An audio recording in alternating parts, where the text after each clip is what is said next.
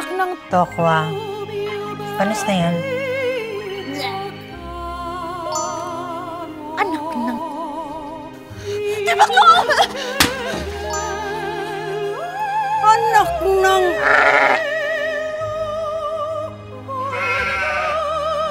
Anak ng... Kamote! Kamote naman. Try mo to.